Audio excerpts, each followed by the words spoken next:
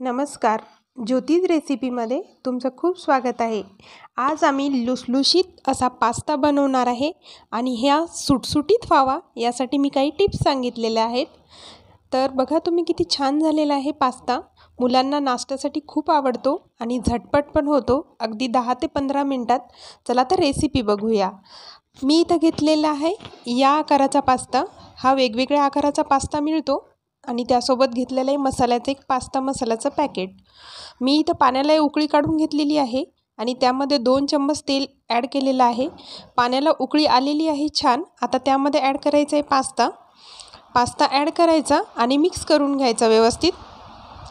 आता हे मिक्स झाल्यानंतर हा कितपत शिजवायचा हे सांगून देते. आपल्याला हे ओव्हरकुक करायचं नाही आहे.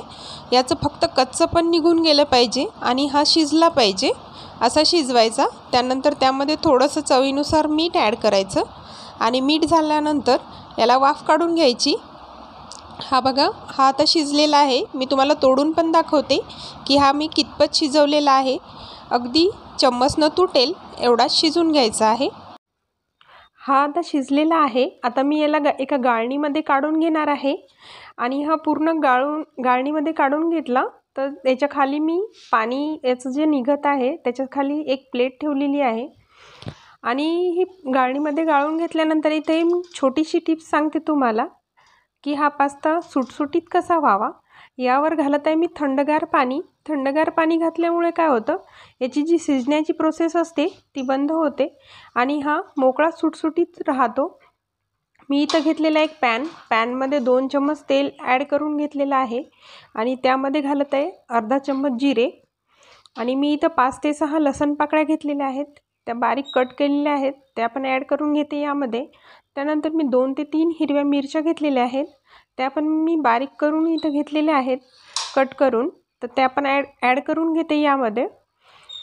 यानंतर याला व्यवस्थित फ्राय होऊ द्यायचं. त्यानंतर मी बारीक कट करून कांदा घेतलेला आहे ते पण ॲड करते. हे टोमॅटो आहे मिक्सरला बारीक करून घेतलेला ते पण ॲड करून घेते. याला व्यवस्थित मिक्स करायचं आणि छान फ्राय होऊ द्यायचं. दोन ते तीन मिनिट याला परतून घ्यायचं. आणि परतल्यानंतर यामध्ये ॲड करायचं आहे आपल्याला वेगळं असं काही नाही.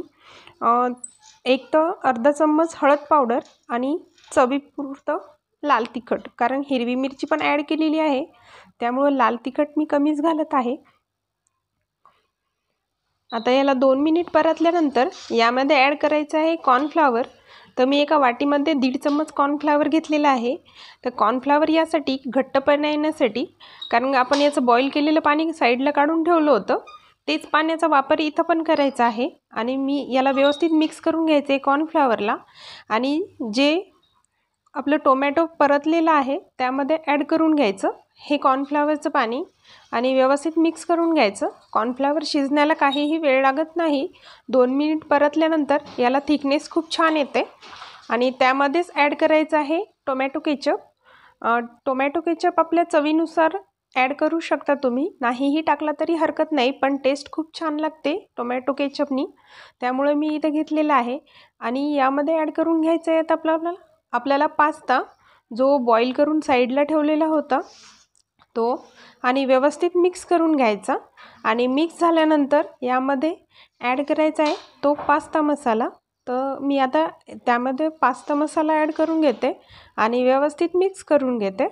आता हे व्यवस्थित मिक्स करून घ्यायचं आणि मिक्स झाल्यानंतर तुम्ही बघतच असाल की किती छान दिसत आहे आपला पास्ता. आता यामध्ये ॲड करायचं आहे सगळ्यात महत्त्वाची जी गोष्ट मीठ. मीठ मी पहिले ॲड केलेलं होतं थोडं म्हणून कमीच आपल्या चवीनुसार घालत आहे. आणि मी साईडला थोडंसं टोमॅटो बारीक कट करून ठेवलेला होता.